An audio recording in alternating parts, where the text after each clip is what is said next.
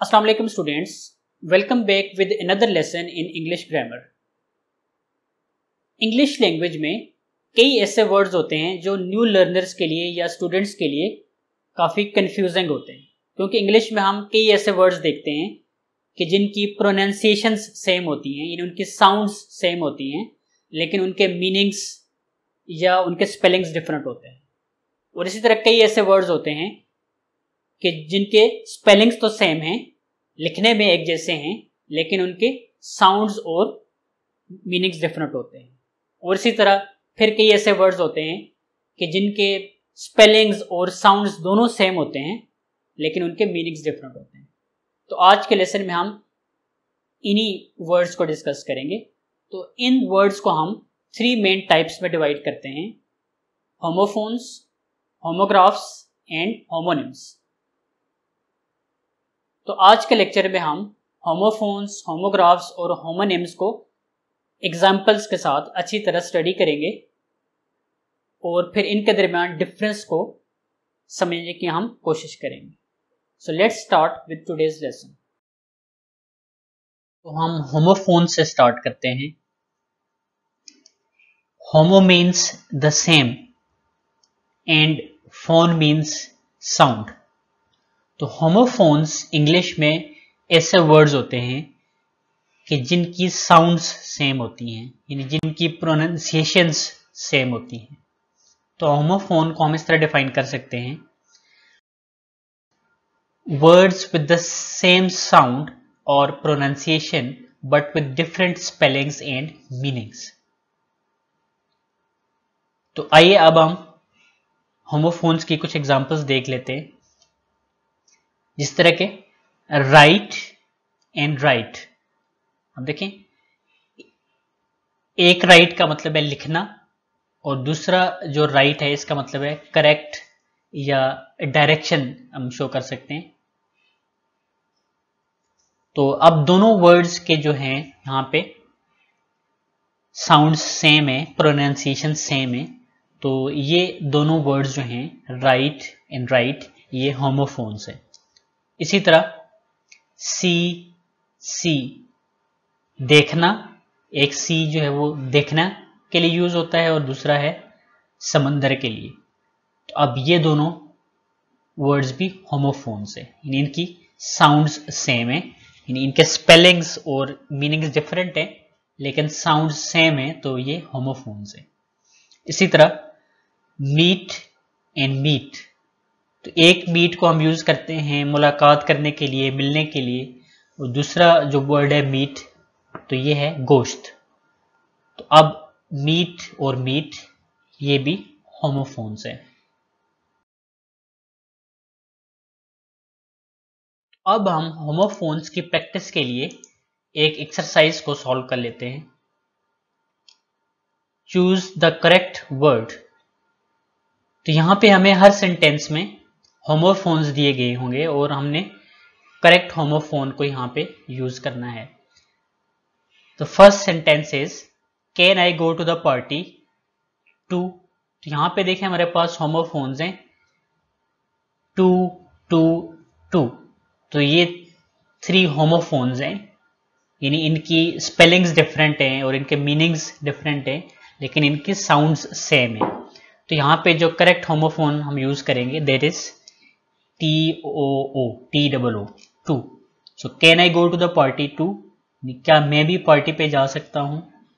Number two this is my favourite pair of jeans और यहाँ पे जो होमोफोन्स हैं पेयर तो थ्री होमोफोन्स हैं. थ्री वर्ड्स हैं जिनके साउंड सेम है. पेयर पेयर पेयर लेकिन यहाँ पे हमने करेक्ट जो वर्ड यूज़ करना है there is P A I R pair यानी ये मेरा जीन्स का एक फेवरेट पेयर है। Number three I sent a letter to my aunt in Vietnam यानी मैंने वियतनाम में अपनी ऑन्ट को हाला को एक खत भेजा। तो अब देखें यहाँ पे जो सेंट सेंट सेंट अब तीनों ये होमोफोन्स हैं तो करेक्ट वर्ड जो होगा तो वो होगा सेंट सेंट जो है वो सेंड का पास्ट है. S E N D send तो सेंड मीन्स भेजना सेंट भेजा. Number four the children got bored during the lecture तो लेक्चर के दौरान बच्चे बोर हो गए, यानी उकता गए. तो इसके लिए जो करेक्ट वर्ड क्या होगा? अब बोर्ड और बोर्ड यहाँ पे दोनों होमोफोन्स हैं, यानी दोनों की साउंड सेम है. लेकिन इनके स्पेलिंग्स और मीनिंग्स डिफरेंट हैं। तो यहाँ पे करेक्ट जो होमोफोन यूज़ करेंगे वो होगा P O R E D bored number five Mr and Mrs Rodriguez like to work in their garden यहाँ पे होमोफोन्स हैं देयर देयर देयर अब ये तीनों वर्ड्स जो हैं वो होमोफोन्स हैं। साउंड इनकी सेम है, लेकिन इनके मीनिंग्स और स्पेलिंग्स डिफरेंट है। और यहाँ पे जो करेक्ट होमोफोन हम यूज़ करेंगे there is T H E I R their correct word होगा देयर तो Mr and Mrs Rodriguez like to work in their garden okay Mr और मिसेस रॉड्रिगज अपने बाग में काम करना पसंद करते हैं. ओके okay, तो हमने ये देखा कि होमोफोन्स इंग्लिश में ऐसे वर्ड्स हैं कि जिनकी साउंड्स सेम है. Homo means same and phones means sound तो होमोफोन्स ऐसे वर्ड्स है जिनकी साउंड्स सेम होती हैं जबकि इनके स्पेलिंग्स और मीनिंग्स डिफरेंट होते हैं ओके okay? जिस तरह to two too pair pear pare sent cent scent bored board there, there, there. अब हम कंफ्यूजिंग वर्ड्स की सेकेंड टाइप पे आते हैं विच इज़ होमोग्राफ्स अब अगेन होमो मीन्स सेम और ग्राफ्स मीन्स राइटिंग ओके तो होमोग्राफ्स ऐसे वर्ड्स हैं जो राइटिंग में सेम है, यानी लिखने में सेम है, यानी उनके स्पेलिंग्स सेम होते हैं ओके तो होमोग्राफ्स को हम इस तरह डिफाइन करते हैं words with the same spellings but with different sounds and meanings okay तो होमोग्राफ्स में क्या चीज़ सेम होती है? Homo means same and graphs means writing homographs में स्पेलिंग्स सेम होते हैं. जो लिखने में वर्ड सेम होते हैं इंग्लिश में, उनको हम होमोग्राफ्स कहते हैं. होमोग्राफ्स में जो वर्ड्स होंगे वो लिखने में एक जैसे होंगे, लेकिन उनकी साउंड्स और उनके जो मीनिंग्स हैं वो डिफरेंट होंगे। फॉर एग्ज़ाम्पल एक वर्ड है हमारे पास बी ओ डब्ल्यू तो अब इस वर्ड को हम दो तरह से प्रोनाउंस करते हैं। एक है बो जिसका मतलब है रिबन और इसको हम इस तरह भी प्रोनाउंस करते हैं बाओ और बाओ का मतलब होता है झुकना। Okay so B O W bow and bow तो ये दो वर्ड्स हैं जिनके स्पेलिंग सेम है, लेकिन इनकी मीनिंग्स और इनके साउंड्स डिफरेंट है। तो बो एंड बाउ तो ये होमोग्राफ्स होंगे। इसी तरह टी ई ए आर तो अब इस वर्ड को भी हम दो तरह से प्रोनाउंस करते हैं।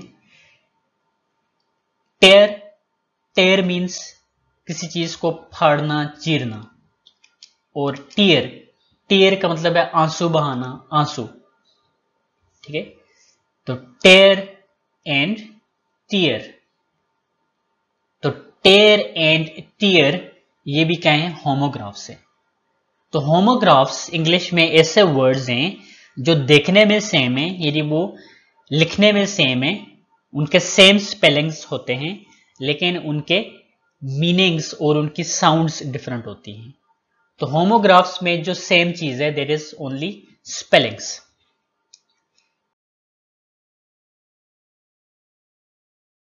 तो अब हम होमोग्राफ्स को अच्छी तरह समझने के लिए प्रैक्टिस के लिए एक एक्सरसाइज कर लेते हैं। Write the meaning of each underlined word number one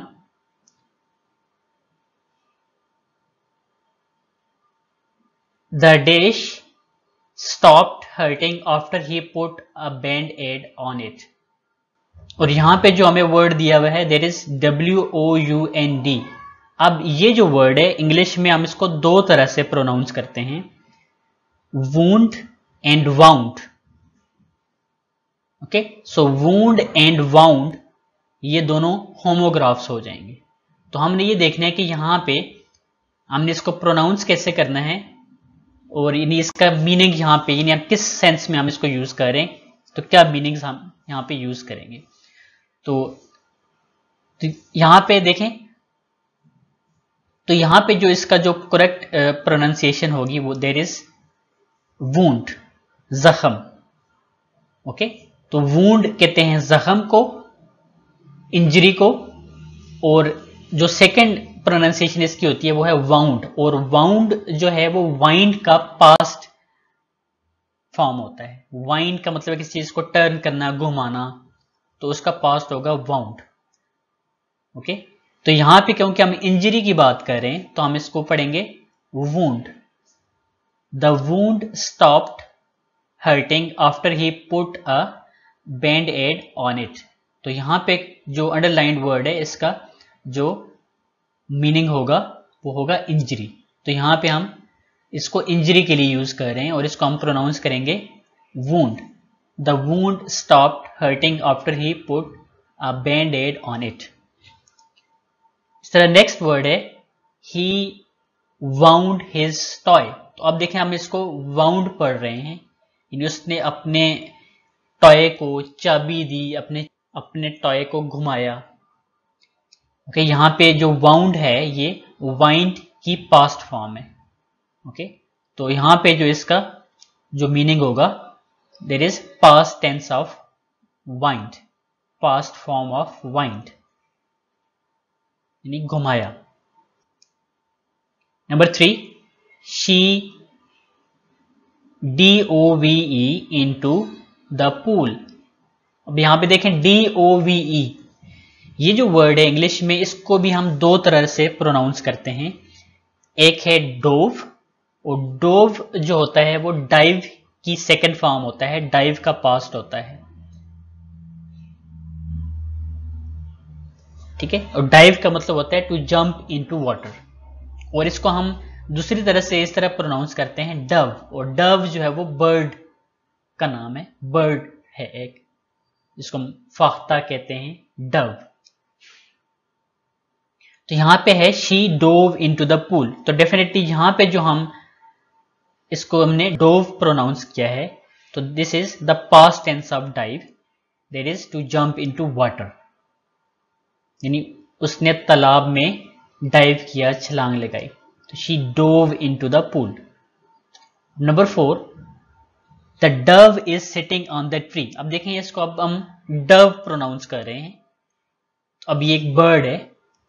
Okay so a small white bird so the dove is sitting on the tree तो डव ट्री पे बैठी है। तो इस तरह देखें डोव और डव ये क्या है? होमोग्राफ्स हैं। इसी, जिस तरह वूंड और वाउंड होमोग्राफ्स थे next the singer made a low bow to the audience आप देखें, इसको मैंने बाउ प्रोनाउंस किया है, क्योंकि सिंगर जो है वो अपने ऑडियंस के सामने उसने झुक के दिखाया, यानी उसने ऑडियंस को सलाम पेश किया। तो यहाँ जो बी ओ डब्ल्यू को हम जो प्रोनाउंस करेंगे there is bow bow means to bend she tied a bow on the package उसने पैकेज पे एक रिबन लगाया। तो अब देखें, इसको अब मैंने बो प्रोनाउंस किया है।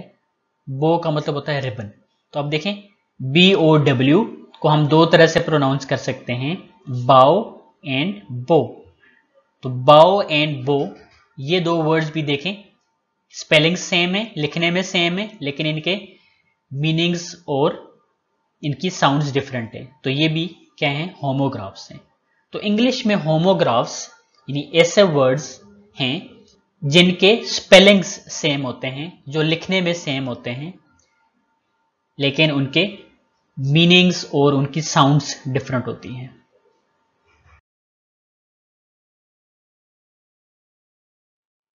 सो so, आइए अब कुछ और होमोग्राफ्स देख लेते हैं। If you will wait a minute I will be right with you अब देखें M I N U T E ये जो वर्ड है, इसको भी हम इंग्लिश में दो तरह से प्रोनाउंस करते हैं। एक है मिनट और दूसरा है माइन्यूट मिनट टाइम के लिए यूज़ किया जाता है। मिनट मीन्स टाइम और माइन्यूट अभी हम देखेंगे कि माइन्यूट का मतलब होता है वेरी स्मॉल टाइनी ओके तो यहाँ पे डेफिनेटली हम टाइम के लिए यूज़ कर रहे हैं। If you will wait a minute तो यहाँ पे देखिए इसको मैंने मिनट प्रोनाउंस किया है कि अगर आप एक मिनट वेट कर लें तो मैं आपके साथ चलूँगा। तो यहाँ पे जो अंडरलाइंड वर्ड है M I N U T E तो ये मिनट है और इसके मीनिंग्स हैं time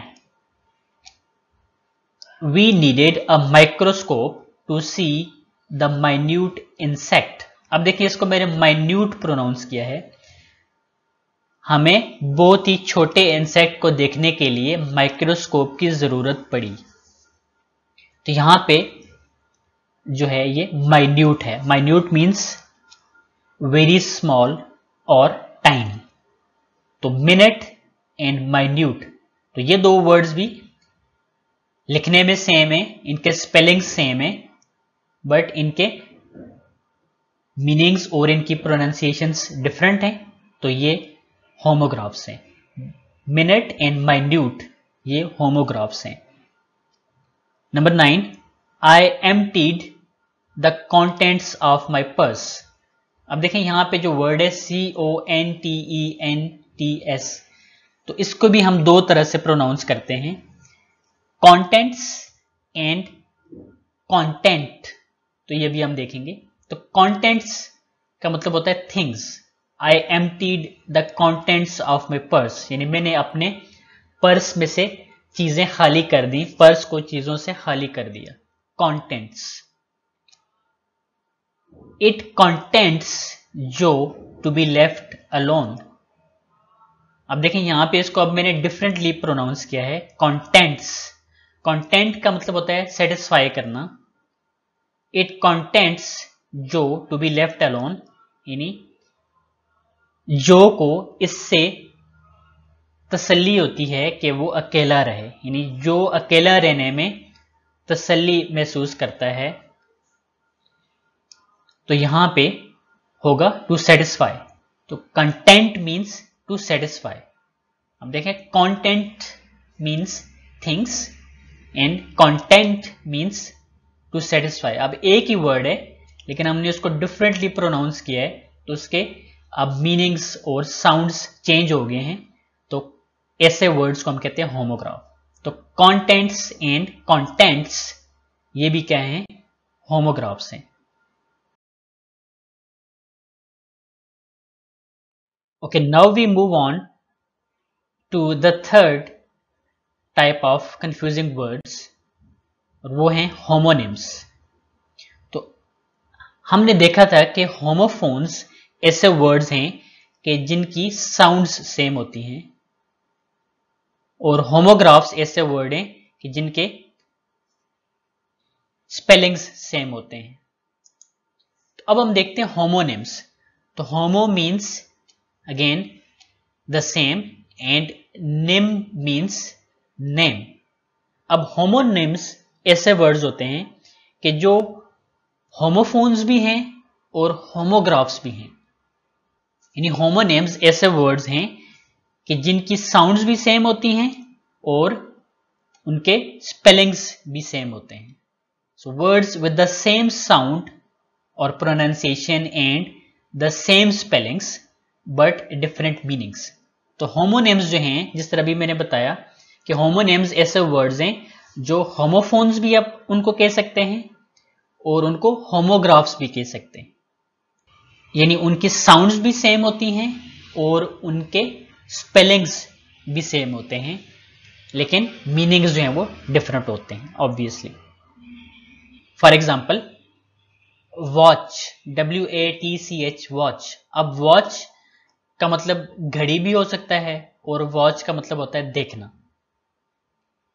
अब देखें वॉच वॉच अब ये टू डिफरेंट वर्ड्स यानी अब वॉच और वॉच टू वर्ड्स हो गए, दो वर्ड्स हैं, कि जो लिखने में भी सेम है और बोलने में भी सेम है, यानी जिनके स्पेलिंग्स भी सेम है, यानी होमोग्राफ्स भी हैं, और इनके साउंड भी सेम है, यानी होमोफोन्स भी हैं। ऐसे वर्ड्स को हम कहते हैं होमोनेम्स तो वॉच और वॉच क्या होंगे? ये दो डिफरेंट वर्ड्स हो गए तो ये होमोनेम्स है। इसी तरह बैट बी ए टी अब बैट एंड बैट तो ये दो डिफरेंट वर्ड्स होते हैं। तो एक बैट का मतलब होता है बर्ड है यहाँ पे इसको उर्दू में हम कहते हैं चमगादड़। और दूसरा बैट है, बल्ला क्रिकेट बैट जो होता है। तो अब अब देखें बी ए टी बैट ये दोनों दो वर्ड्स हो गए जो लिखने में भी एक जैसे हैं। यानी होमोग्राफ्स हैं सेम स्पेलिंग्स हैं, और बोलने में भी एक जैसे हैं। यानी साउंड सेम है तो ये होमोफोन्स भी हैं। तो बैट एंड बैट ये होमोनेम्स होंगे। ओके तो होमोनेम्स ऐसे वर्ड्स होते हैं कि जिनकी साउंड्स भी सेम होती हैं, यानी ये होमोफोन्स भी होते हैं, और इनके स्पेलिंग्स भी सेम होते हैं, यानी ये होमोग्राफ्स भी होते हैं। लेकिन इनके मीनिंग्स डिफरेंट होते हैं।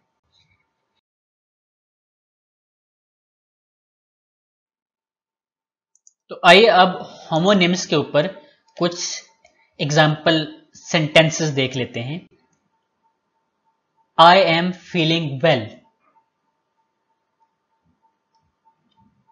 the well was full of water अब देखें वेल एंड वेल ये दोनों वर्ड्स क्या होंगे? होमोनेम्स होंगे। यानी इनके स्पेलिंग्स भी सेम है, इनके साउंड्स भी सेम है। यानी देखें, इनके साउंड्स सेम है इट मींस कि ये होमोफोन्स भी हैं, और इनके स्पेलिंग सेम है इट मींस कि ये होमोग्राफ्स भी हैं तो ये होमोनेम्स हैं वेल एंड वेल लेकिन इनके मीनिंग्स डिफरेंट हैं. आई एम फीलिंग वेल मैं अच्छा महसूस कर रहा हूँ. The well was full of water यानी कुआँ या वेल जो था, वो वाटर से, पानी से भरा हुआ था. तो अब देखें डिफरेंट मीनिंग्स हैं but same sounds and spellings हैं. वेल एंड वेल तो ये होमोनिम्स हैं। Next the bank was close today the bank was really muddy अब देखें, यहाँ पे B A N K bank तो यहाँ पे भी bank and bank two different words हैं यहाँ, जिनके स्पेलिंग सेम है और साउंड सेम है। तो बैंक एंड बैंक ये होमोनिम्स है। मीनिंग्स डिफरेंट है the bank was close today यानी आज बैंक बंद था the bank was really muddy यहाँ पे जो बैंक का मतलब है वो किनारा, यानी दरिया का किनारा या किसी तालाब का पौंड का जो साइड एरिया है, उसको हम कहते हैं बैंक जो बैंक था, किनारा था वो बहुत ज़्यादा मडी था, बहुत ज़्यादा कीचड़ वाला था। Number five she answered all the question right and I turn right अब देखें राइट एंड राइट तो अब ये दोनों वर्ड जो हैं, ये होमोनेम्स हैं, यानी ये होमोफोन्स भी हैं होमोग्राफ्स भी हैं. यानी इनके साउंड भी सेम है, इनके अगेन स्पेलिंग्स भी सेम है, लेकिन इनके मीनिंग्स डिफरेंट हैं. तो राइट एंड राइट क्या है? होमोनिम्स है. लेकिन इनके मीनिंग्स डिफरेंट होंगे। She answered all the question right यानी उसने तमाम सवालों का सही जवाब दिया। यहाँ पर राइट right का मतलब है करेक्ट आई टर्न राइट और यहाँ पर राइट right का मतलब है डायरेक्शन यानी मैं दाएँ तरफ़ मुड़ा। आई टर्न राइट ओके तो होमोनिम्स इंग्लिश में ऐसे वर्ड्स हुए कि जिनकी साउंड्स भी सेम है और जिनके स्पेलिंग्स भी सेम है। लेकिन मीनिंग्स डिफरेंट है। डी स्टूडेंट्स तो आज के लेसन में हमने देखा कि हम इंग्लिश में कंफ्यूजिंग वर्ड्स को थ्री टाइप्स में डिवाइड कर सकते हैं। Homophones homographs and homonyms okay तो होमोफोन्स मीन्स सेम साउंड्स तो होमोफोन्स इंग्लिश में ऐसे वर्ड्स होते हैं कि जिनके साउंड्स सेम होती हैं। और मीनिंग्स और स्पेलिंग्स डिफरेंट होते हैं। Like write and right and homographs means same writing same spellings तो होमोग्राफ्स ऐसे वर्ड्स हैं जिनके स्पेलिंग सेम है, लेकिन उनके प्रोनाउंसिएशंस और मीनिंग्स डिफरेंट होंगे। Like bow and bow homonyms means same names तो होमोनिम्स ऐसे वर्ड्स हैं कि जो होमोफोन्स भी हैं और होमोग्राफ्स भी हैं। कि इनके साउंड्स भी सेम होते हैं और इनके स्पेलिंग्स भी सेम होते हैं, लेकिन मीनिंग्स डिफरेंट होते हैं like watch and watch I hope कि आज के लेसन से आपको इंग्लिश के कंफ्यूजिंग वर्ड्स को अंडरस्टैंड करने में हेल्प मिली होगी। तो अगर आपको कोई भी क्वेश्चन हो तो आप मुझे कमेंट सेक्शन में लिख के बता सकते हैं।